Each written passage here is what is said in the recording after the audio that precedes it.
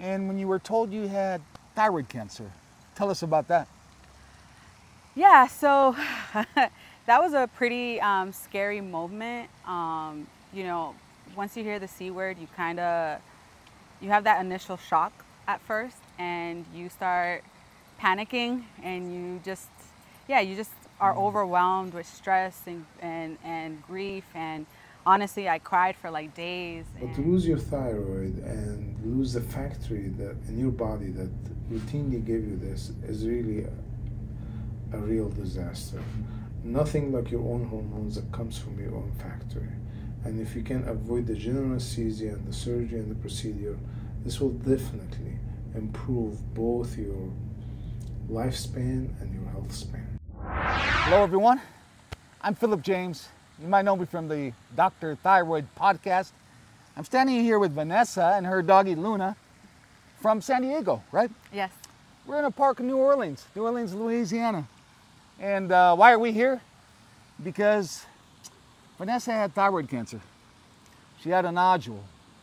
And she came here to New Orleans, to Tulane University, Yes. to get treated for thyroid cancer without surgery. Exactly. Yes.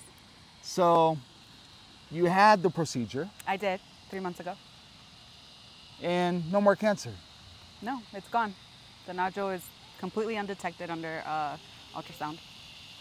How long ago did you discover you had cancer? I discovered I had cancer back of April of this year, April 2020, April 2024, Recently. recently. How big was your nodule? The cancerous nodule was 1.5 centimeters. And how did you discover it? Well, um, over the course of two years, I was having a lot of symptoms, night sweats, um, rapid weight gain, and I just overall did not feel myself. I knew something was wrong. So I went to a few different doctors, and no one could give me an answer. And I did a lot of research, um, and you know, someone on the internet had similar symptoms of mine, and they were they had thyroid cancer, and I never had my thyroid checked with an ultrasound. So I went into the doctor's office and I asked my doctor to check my ultrasound, uh, to check my thyroid with an ultrasound, just to rule out any potential um, thyroid issues. And they did the ultrasound. It came back with a nodule. Um, a few weeks later, I had I had a biopsy, and that's how I found out that I had thyroid cancer. And when you were told you had thyroid cancer, tell us about that. Yeah, so that was a pretty um, scary moment. Um, you know, once you hear the C word, you kind of you have that initial shock at first, and you start panicking, and you just yeah, you just are overwhelmed with stress and and, and grief, and honestly, I cried for like days, and yeah, it was pretty overwhelming. The, Do the you first have couple anyone to support you through that?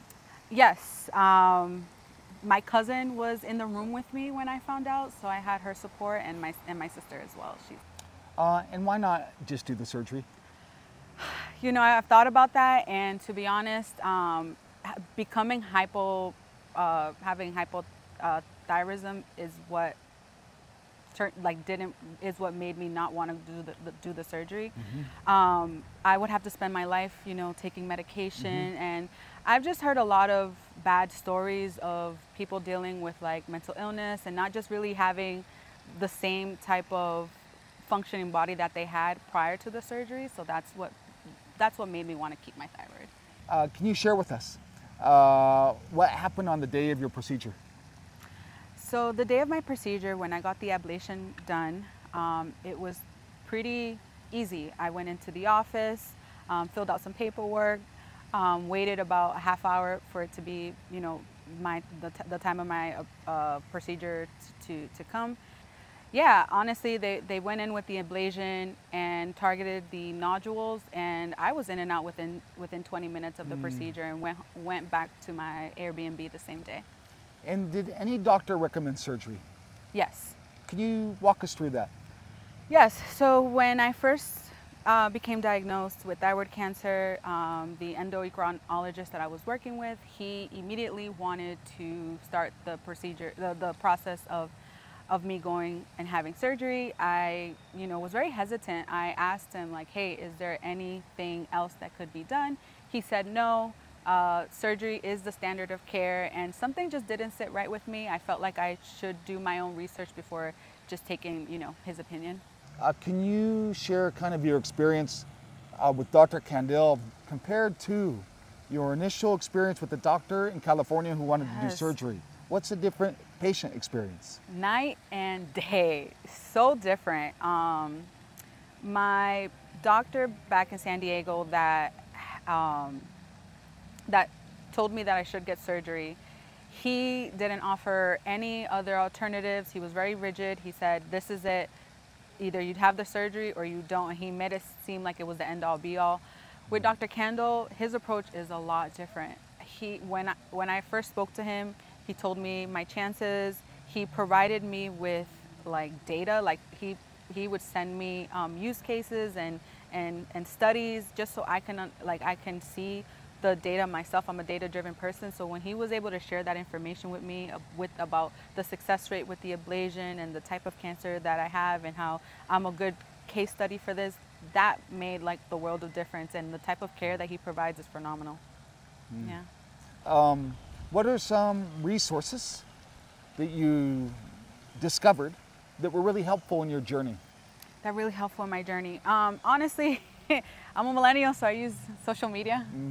So um, the uh, TikTok, uh, YouTube, um, that's where I went um, to try to figure out what else is out there. And once I started hearing people's stories, I found Facebook groups and just hearing testimonies. That's really what Patient testimonial. patient yes patient testimonial of who, of who've done the ablation that's when i was like okay i i want to go this route i just want to say thank you you know like yourself thank you for putting this out there um, the information wouldn't be obtainable unless people were actively putting it on social media and that's how i found it so i'm super thankful for the ablation that for it being available in the US. I'm thankful for Dr. Kandil. I'm grateful for everyone who shared their testimony and uh, patient testimonies about ablation and just having the courage to share that information so that way people like myself can find it on online and be able to make, you know, proper decisions that, that work for oneself. Fantastic. Yeah. Um, so now, for those watching, um, you're going to enjoy your day in the park. But I'm going to go talk to Dr. Kandil about your case, and I think he's going to share more details about what it was like being your doctor and how he approached the treatment of your nodule. So I want to thank you. Thank you. We're going to say farewell to them for now, and I'm going to go over to Tulane University and see Dr. Kandil.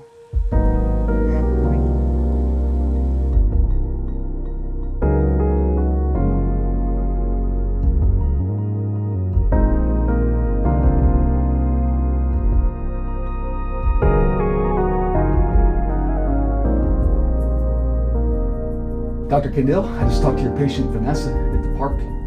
She was telling us how you uh, treated her for thyroid cancer without surgery. Yeah, Vanessa is a very nice, wonderful person. She called me and we had like a consultation, discussed her option. Initially, she was offered thyroid surgery to remove her entire gland because she did have a nodule and the biopsy was cancer, which is appropriate. However, there are other options, and we discussed the ablation option, and we performed that, and she did extremely well. And after just three months from the ablation, the cancer does not exist. Does not exist. There is no evidence of the nodule on her ultrasound. How large was the nodule or the So her nodule was approximately 1.6 centimeter, and she went back to the same place that did the first ultrasound and did the first biopsy, and they were unable to identify the original nodule that was seen on the first ultrasound where they found about this suspicious nodule. And she came back to see me, and again, there is no evidence of any residual disease after the ablation. pretty cool? Yeah. You know, and I don't think there's much more to talk about this except I think we should just do one thing. Some people might think this is hocus pocus because uh, perception is cancer, and then sometimes we always are told to be skeptical of some cure all. We can take care of your cancer without cutting you open. But I just think we have to emphasize again that no, this procedure, ablation, is being used to treat thyroid cancer successfully in all the big, big, some big institutions around the world. Can we just reiterate to the patients listening or watching that this is real? Absolutely. So, active surveillance, which basically monitoring thyroid cancer without surgical intervention, is an option for many patients with thyroid cancer in a very early stage with a small disease. And this is actually the most the most common scenario for patients with thyroid cancer. So these patients can just basically do nothing with making sure that they are good candidates for this approach. But now we do have an approach where we can burn the nodule and make it disappear, ablate the nodule completely. So patients should be aware about the possible opportunities for them to preserve the thyroids. In the description to this interview, whether it's podcast or video, for anyone watching or listening, they're going to find your info on how to contact you if they have thyroid cancer or thyroid nodule on how to be treated without surgery. Um, any final thoughts about Vanessa's case before we say farewell? Well, I think um, it's important to understand that almost uh, 80% of well differentiated thyroid cancer is an early stage disease. And many of these patients can be really managed without aggressive treatment.